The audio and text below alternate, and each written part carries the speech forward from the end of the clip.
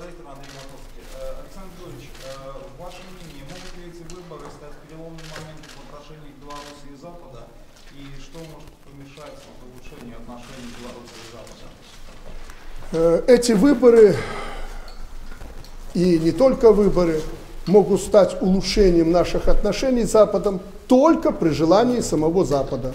Все, вот я вам искренне говорю, все, что Запад пожелал, все, что Запад захотел видеть в канун президентских выборов в Беларуси, признаюсь вам честно, мы сделали все. Что сделали, вы не хуже меня знаете.